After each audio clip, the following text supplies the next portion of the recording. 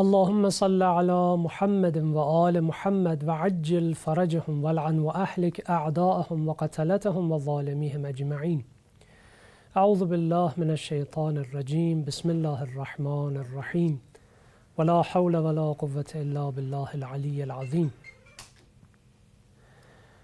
السلام عليكم يا أئمة البقيء آجرك الله یا صاحب العصر و الزمان عجل الله تعالی فرجك الشریف سلام علیکم و رحمت الله.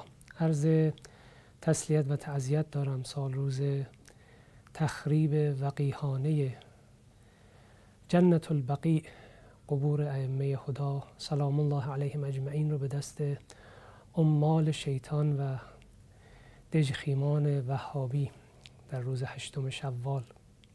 انشالله که همه شما عزیزان و سروران در هر کجای عالم که هستید در سلامت و عافیت باشید و انشالله در این روز همگی با توسل به ساحت مقدس آقا بقیت الله العظم عجل الله تعالی فرجه الشریف از خداوند متعال ظهور حضرتش رو و پایان دادن به همه ظلم ها رو طلب کنیم.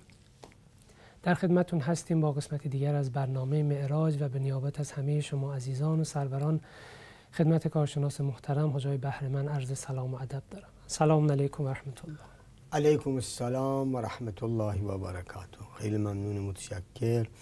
بنده هم خدمت همه بینندگان محترم و عزیز. سلام و عرض ادب دارم. سال روز تخریب حرم های ائمه بقی علیهم السلام رو محضر ولی عصر آقا امام زمان عجل الله تعالی فرجه و شریف تسلیت عرض می‌کنم امیدوارم به برکت نام نامی ائمه بقی علیهم السلام خدای عز و جل از همه شیعیان و دوستان اهل البیت در سراسر عالم گرفتاری ها و ناراحتی ها را انشاءالله برطرف کند برطرف فرماید. الهی امین.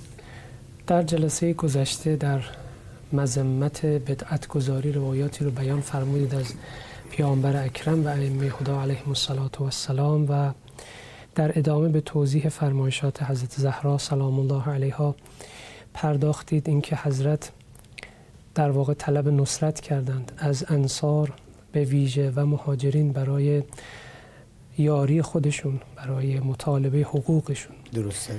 و متاسفانه سستی امت و عدم انقیاد به فرامین اهل البیت علیهم السلام رو در طول تاریخ خصوصا در برهی که بعد از شهادت پیامبر اکرم صلی الله علیه و آله اتفاق افتاد رو شاهد بودیم و با این کلماتشون حضرت نه تنها اتمام حجت فرمودن بلکه می‌تونیم بگیم راه اوز تراشی رو برای همه امت بستند و این سند رو برای خودشون و برای همگان باقی گذاشتند که در یاری اهل بیت کوتاهی شد و مظلوم بودند و مظلوم هستند. اهل بیت اسمت و طهارت دلایلی رو بر لزوم نصرت اهل بیت اشاره فرمودید از قرآن آیه مودت و دیگر بیانات انشالله از ادامه فرمایشات شما استفاده خواهیم کرد بعد از حدیثی که تقدیم شما بینندگان می‌کنیم.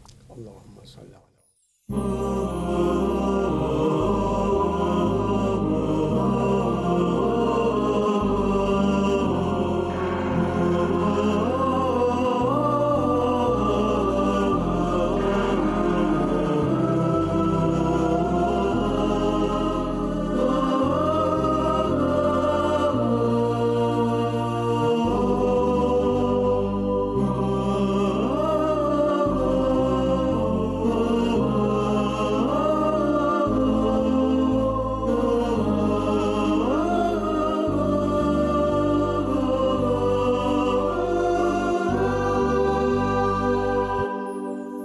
بسم الله الرحمن الرحيم.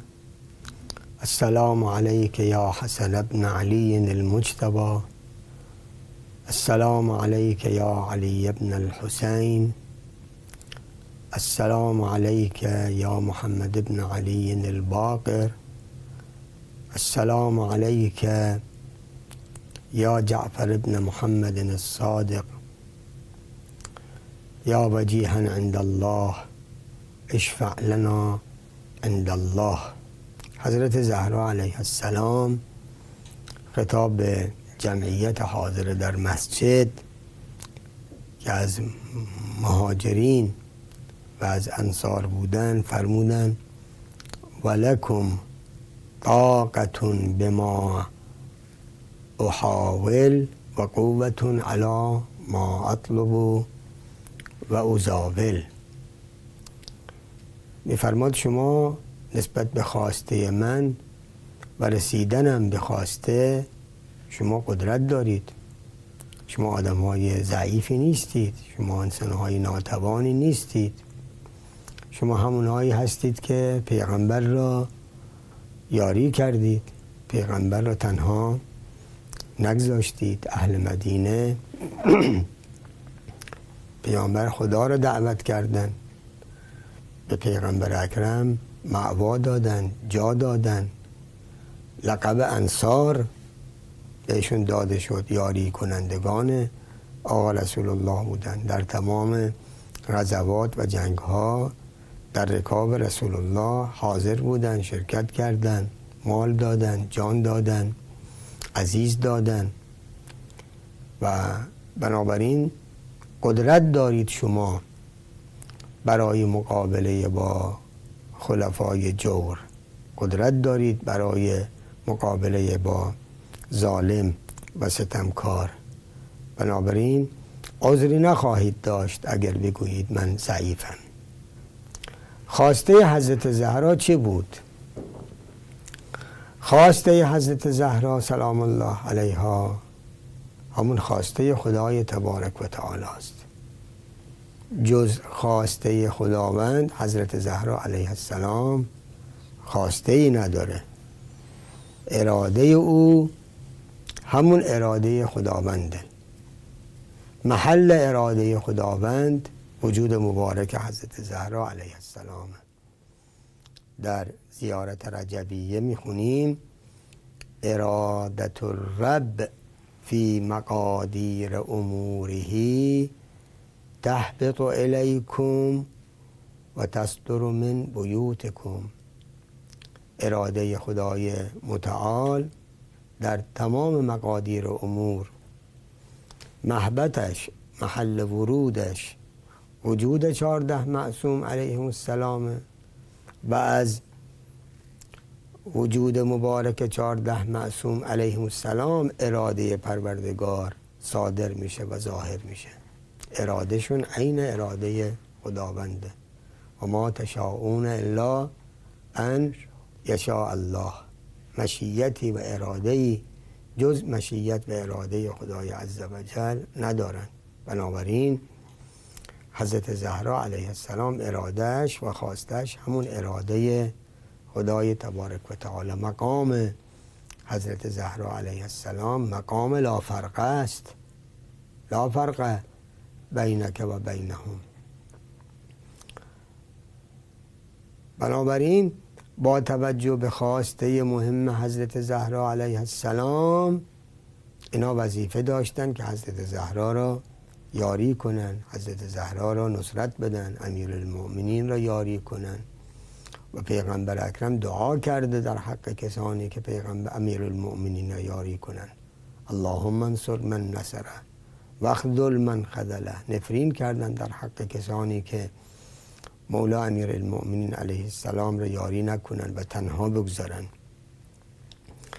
از این فرموده حضرت زهرا علیه السلام درسی را می‌تونیم بیاموزیم و اون اینه که در جایی که حاکم حاکم ظالم و ستمکاریه اگر ظالم از راه طبیعی و عادی می‌شد او را هدایتش کرد و می‌شد او را کنترل کرد.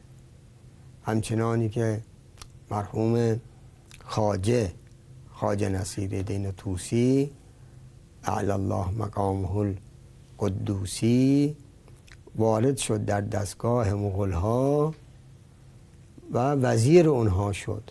از راه وزارت و از راه علم و دانشی که داشت کنترل کرد سلاطین مغول را. این یک روش برای کنترل کردن ظالم. اگر این روش امکان نداشته باشد باید مؤمنین را مردم را شورش داد و آنها را ترغیبشون کرد که قیام کنن بر علیه شخص ظالم ستمکار و شخص بدعتگذار. این یک درسیه که از محضر حضرت زهرا علیه السلام باید آموخت. میفرماد شما قدرت دارید نسبت به تحقق خواسته من. چرا از این قدرتتون استفاده نمی کنید یعنی مقابله به مقابله با ظالم بیستید؟ به مقابله با شخص بدعت گذار بیستید؟ درباره اهمیت ترغیب مردم برای مقابله با ظالم و ستمکار روایات بسیاری هست. از جمله فرمایش وجود مبارک حضرت خاتم الانبیا صلی الله علیه و آله و سلم میفرماید من اعان اخاه المؤمن على سلطان جائر اعانه الله على اجازت الصراط عند زلزله الاقدام. یعنی هر کسی یاری کند برادر مؤمنش را که او بیستد مقابل شخص ظالم بیستد مقابل سلطان جائر.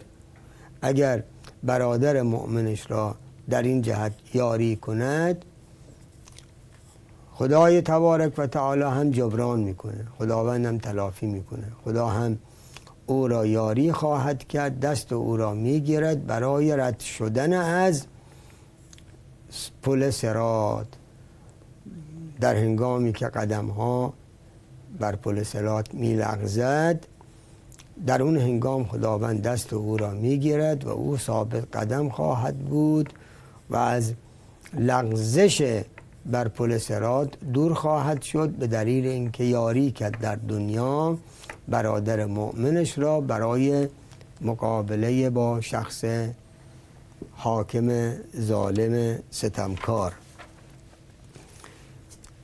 یا آقا رسول الله میفرماید مجالست الموتا مفسدتون للقلوب. همنشینی با مردگان قلبها را دلها را فاسد می کند چیه منظور حضرت از این فرمایش؟ عرض کردن قیل له یا رسول الله ما مجالست الموتا مجالسه با مردگان چیه؟ فرمودن مجالست کل وال عن الایمان. هم نشینی با هر شخص منحرف ایمانی. و جائر فی الاحکام مجالست کردن با کسی که ظلم می‌کند در احکام دین و به احکام دین عمل نمی کند و به گذار در دین. همراهی کردن با او همنشینی با او این دل, دل, دل انسان را فاسد می‌کنه دل انسان خراب می‌کنه. و ظالم جائر این ازش تعبیر می‌شد به انسان مرده. حیات به ایمان حیات به عدالت حیات به عمل کردن به احکام دینه بنابراین اونی که ایمان ندارد و احکام دین را بهش عمل نمی کند این در واقع از نظر روحی مرده است ولو جسم او بهره از حیات و زندگی را دارد. از این جهت پیغمبر اکرم میفرماد با چنین افرادی نباید همراهی کرد و مجالست کرد. یا در روایت دیگری حضرت آقا ابو جعفر امام باقر سلام الله علیه میفرماید من مشا الى سلطان جائر. کسی که حرکت کند به سمت یک سلطان ستمکار ظالم. یه سلطانیه که به حکم شرعی عمل نمی‌کنه و احکام شرعی را زیر پای خود می‌گذارد و به بندگان خدا ظلم و ستم می‌کنه. کسی که به سوی او قدم بردارد اما فامره به تقوی الله. اون ظالم را امر کند نخواهش تمنا کنه. امر کنه دستورش بده به رعایت تقوای الهی امرش کنه به داشتن تقوا و خوف از خدای عزوجل خوف از عذاب دردناک الهی و وعوه او را موعظش بکنه و خوفه او را از عذاب دردناک روز قیامت او را بترساند کسی که چنین کاری بکند کان له مثل اجر ثقلین اجر اجر و ثواب عمل تمام جن و انس را خدای عزوجل بهش عنایت می‌کند. ثقلین چقدر عبادت می‌کنن؟ چقدر اجر و ثواب دارن؟ کسی که برد نزد سلطان جائر و او را ارشاد کنه او را راهنمایی کنه او را موعظه کنه و امر به معروفش کنه نهی از منکرش بکنه. عمل او عمل تمام جن و انس خواهد بود. یا در روایت دیگری پیغمبر اکرم صلی الله علیه و آله و سلم میفرماید من قواسم الظهر سلطان جائر یعصی الله و انت تطیعه از اموری که کمرشکنه و غیر قابل تحمله. تحملش سخته. اون وجود یک سلطان جائر ظالم بدعت گذاره که خدا را معصیت می‌کند و توی مؤمن از او اطاعت کنی. این چیه؟ این من قواسم الظهر یعنی کمر شکنه غیر قابل تحمل بنابراین در برابر سلطان جائل ظالم باید چکار کرد؟ باید قیام کرد باید استاد یا باز میفرماید لا دین لمن دان به ولایت امام جائر لیس من الله. کسی که دنبال رو امام ظالم باشه امامی که خدا او را برای امامت انتخاب نکرده امامی که مردم مثلا او را به عنوان امام انتخاب کردن کسی که دنبال رو چنین ظالمی باشند و اطاعت کند از فرمان چنین ظالمی این شخص کسیه که از دیانت سودی نمی‌بره بهره از دیانت نداره لا دینه این دین نداره اصلا. یا فرمود باز امام معصوم علیه السلام فرمود افضل الجهاد. جهاد یکی از واجبات اسلامیه. منتها بهترین جهادها افضل الجهاد کلمت عدل عند سلطان جائر انسان یک کلمه عادلانه بگوید در برابر یک سلطان جائر. این برترین مقامات جهاده برترین نوع و مدل جهاد فی سبیل الله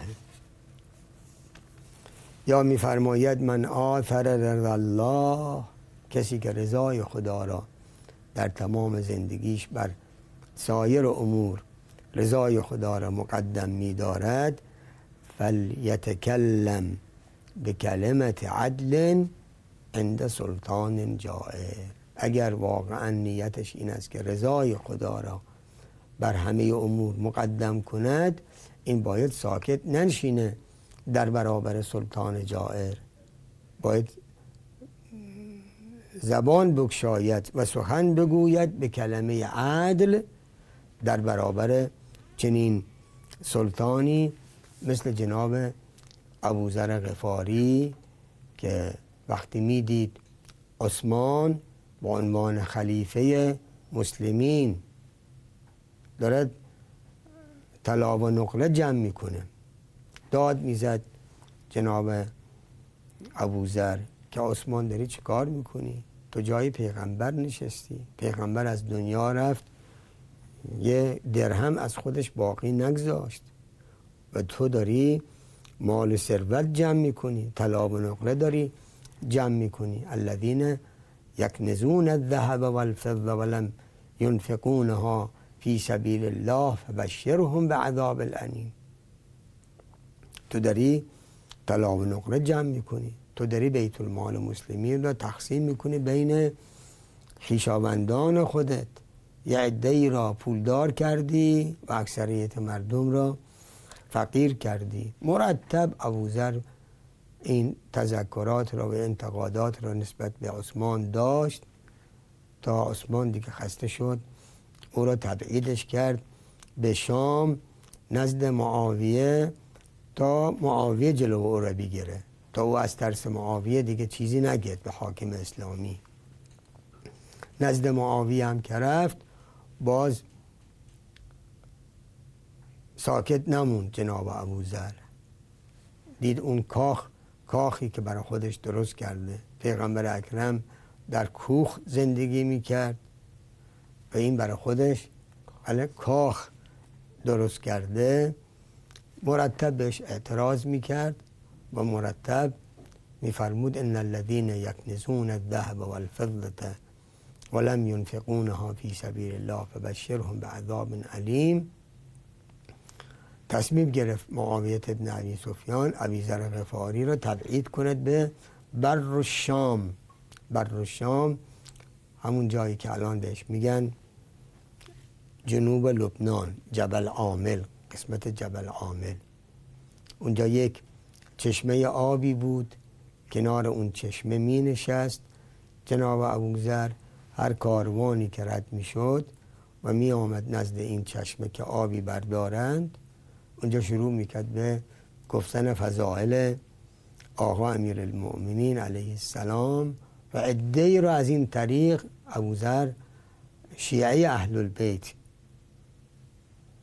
و طرفدار امیر علیه السلام قرارشون داد. و من رفتم اون منطقه رو دیدم.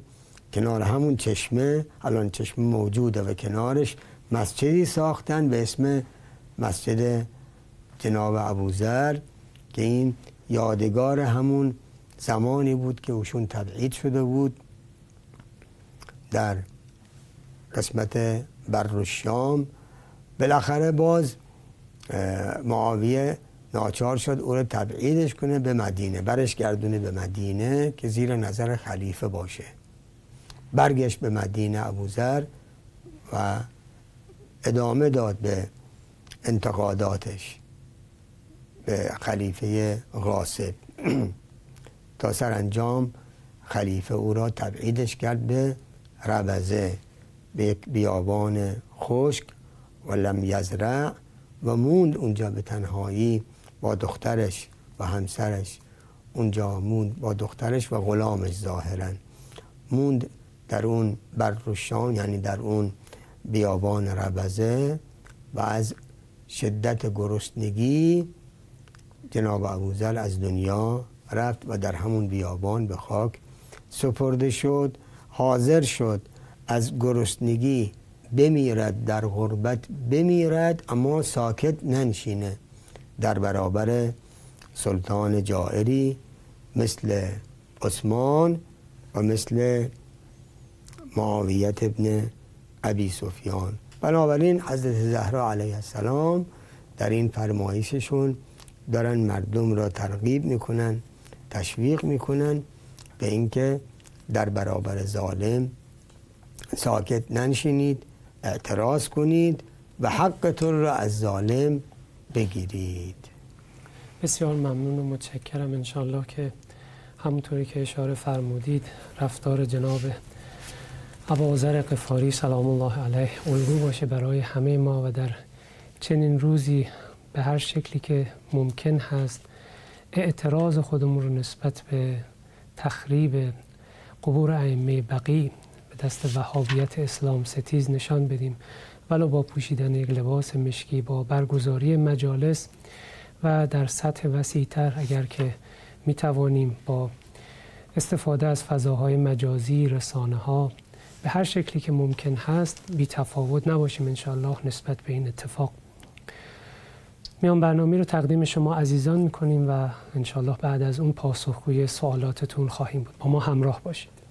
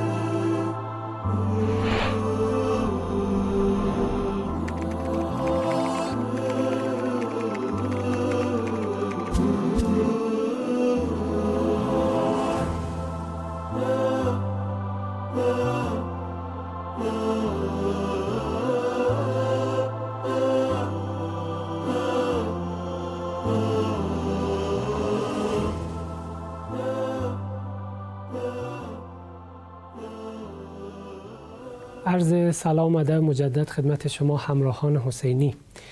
اولین سوالی که مطرح کردن بینندگان محترم در خصوص نماز وحشت و کیفیت خوندن اون هست.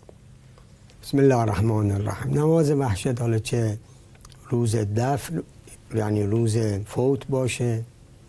بنابر نظر حضرت آیت الله شیرازی یا بنابر نظریه مشهور روز دفن باشه یعنی بعد از دفن. هر کدوم که باشه که آیت الله شیرازی می‌فهمه بهتره که هر دو اینها در هر دو زمان خونده بشه هم روز فوت هم بعد از دفن. اگر فاصله باشه مثلا شنبه فوت بکنه و یه هفته بعد دفنش کنن.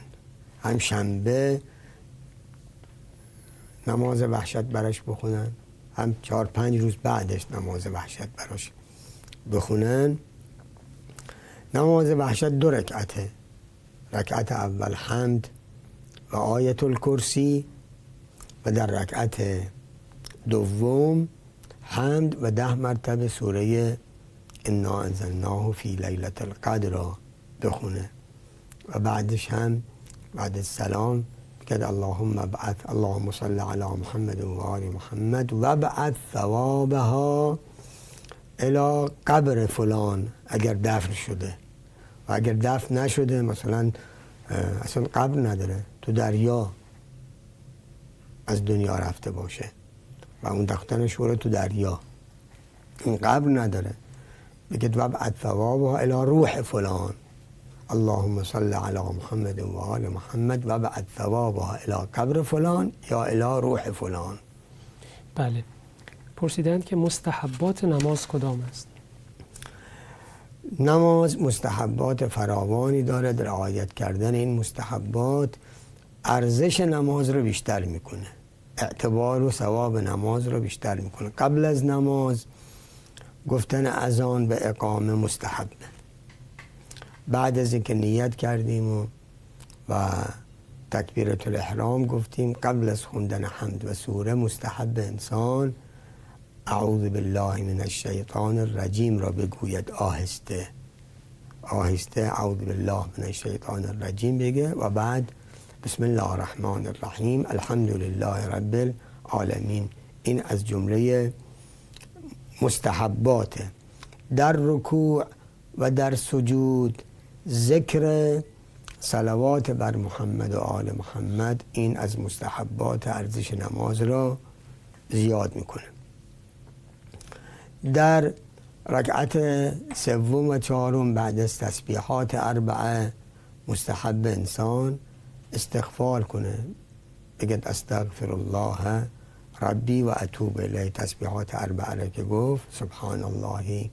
والحمد لله ولا اله الا الله والله اکبر سه مرتبه که گفت بعدش بگد استغفر الله ربی و اتوب الی بعد از شهادتین در تشهد گفتن جمله و ان علیا نعم الولی این جزء مستحبات قنوت نماز جزء مستحبات که البته ترک آن زیبنده نیست و نباید انسان خودش را از قنوت نماز خودش را محروم کنه. چون نمازی که درش قنوت هست و درش دعا هست افضل از اون نمازی که خالی از قنوت و دعاست ولو اون که قرآنش بیشتر باشه. همچنین گفتن جمله الحمدلله رب العالمین بعد از جمله ولضالین این هم جزء مستحبات نمازه. اگر کسی این مستحبات رعایت کنه اعتبار نمازش بیشتر میشه قطعا. بله سوال دیگری که پرسیده شده این هست که قهر کردن با مؤمنین و شیعیان اهل البیت علیهم السلام بیش از سه روز چه حکمی دارد؟ از بعض روایات استفاده می‌شد که این جایز نیست این حرامه که انسان بیش از سه روز با برادر ایمانیش قهر باشه. از امام صادق علیه السلام روایت نقش شده که میفرماد این قهر و جدایی بیش از سه روز جایز نیست و در قهر و جدایی هیچ خیر و برکتی آید انسان نمیشه و کسی که قهر می‌کند و جدا می شود از برادر دینیش بیش از سه روز این مستحق لعنه.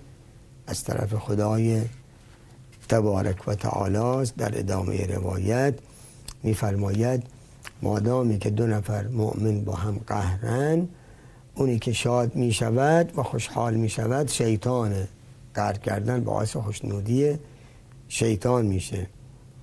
و حرمت این کار اشد می‌شد اگر انسان با ارحام خودش قهر کنه. نه برادر دینی. مثلا با برادر تنی خودش با خواهر تنی خودش قهر بکنه. با پدر با مادر مؤمنش قهر بکنه. این قطعا حرمتش بیشتر میشه و شدت پیدا می‌کنه. بله. پرسیدن که رد مظالم رو توضیح بفرمایید. اگر انسان از دیگران به گردنش حقوقی هست مثلا این, این تو بچگیش مثلا از کسانی مالی برداشته جنسی برداشته. در معاملاتش پول از مردم خورده. خب این الان نمی‌شناسد صاحبانش را. اموالی نزدش هست و صاحبانش را نمی‌شناسه. اگر صاحبان را می‌شناسه باید به صاحبانش برگردونه. اما اگر چنانچه حقوق مالی به گردنش هست. از مردمی که اونها را نمی‌شناسه فعلا باید این مال را که مال مجهول المالکه باید در اختیار حاکم شرع قرار بده یا به دستوری که حاکم شرع بهش اجازه می‌دهد در همون مسیر خرج کنه تا از زمش از عهده این بار خالی بشه. بله و پرسیدند که سله رحم چگونه تحقق پیدا می‌کنند سله رحم از جمله واجبات مقابلش قطع رحمه که حرامه و به زیارت اولا به زیارت و دیدار و ملاقات محقق میشه. اگه کسی به دیدن پدر به دیدن مادر به دیدن خواهر برادر به دیدن عمو دایی عمه خاله بره این بهش میگن سله رحم. جویای حال اونها بشه. ولو تلفنی. سلام علیک بکنه تلفنی با ارحام خودش. این یکی از موارد و مصادیق سله رحیمه. بیمار بشن برد به عیادت اونها. هدیه‌ای به اونها بدهد. این یکی از مصادیق سله رحمه که آثار برکات فراوانی دارد. زیادی روزی طولانی شدن عمر و خوشنودی پروردگار متعال این از, از آثار و برکات سله رحمه بله دیگر سوال این هست که حکم لباس های تنگی که بعضی از خانم ها می پوشند به طوری که اعضای آنها را نمایان می کند چیست؟ لباس هایی که پوشیدنش باعث فتنه میشه و باعث فساد میشه اینها پوشیدنش برای زنها جایز نیست حرامه. باید از پوشیدن چنین لباس هایی خودداری کنن. بله پرسیدن که حکم جوراب های بدن نما چیست؟ اگر اگر این جوراب پار نشون بده ساق پار نشون بده این نباید پار و ساق پای خودش رو این زن به نامحرم نشان بده حرامه. بله و پرسیدند که چادرها و عبایه‌ای که دارای زینت است حکمان چیست؟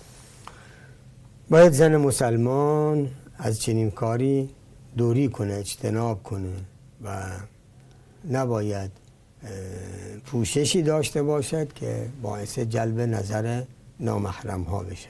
بله و پرسیدند خوردن جگر گوسفند به طور خام یا نیم پخته آیا اشکال دارد؟ نه اشکالی نداره. گوسفندی که به طریقه شرعی ذبح شده خب گوشت آن حلاله و خوردن جگرش هم حلاله بنابراین ولا به صورت خام خورده بشه یا به صورت نیم پز خورده بشه ایرادی ندارد حرام نیست. بله و پرسیدن من هنگامی که عدسه می کنم الحمدلله و شکرا لله می‌گویم. اگر در نماز چنین حالتی برایم اتفاق بیفتد آیا نمازم اشکال پیدا می کند؟ نه اشکالی نداره. چون نماز یا قرآن است یا دعاست یا ذکره بنابراین کسی بعد از عدسه در نماز بگد الحمدلله یا بگد شکر لله این ذکر خدای تبارک و تعالی و باعث باطل شدن نماز نمیشه. در اینکه صورت نماز به هم نمی‌خوره. ولی اینکه در هنگام خواندن نه سوره باشه؟ بله اشکال نداره. بله. الحمدلله رب العالمین. نه اشکال نداره. بسیار ممنون و متشکرم از پاسخهای شما و تشکر می‌کنم از همه شما عزیزان که با ما همراه بودید. اللهم عجل وليك الفرج والعافية والناصر وجعلنا بفضلك من خير أعوانه وأنصاره اللهم ارزقنا زيارة الحسين وشفاعة الحسين في الدنيا والآخرة. يا علي مدد خدا یار نگهدارتون